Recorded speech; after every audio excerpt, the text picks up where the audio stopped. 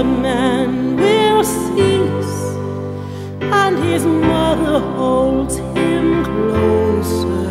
for he is the Prince of Peace.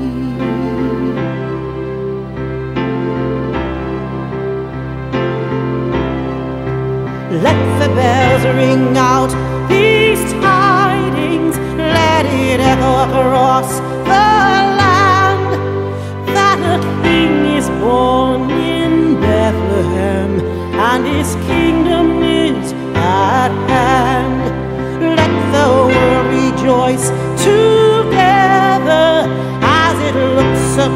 upon the stars, knowing every man's our brother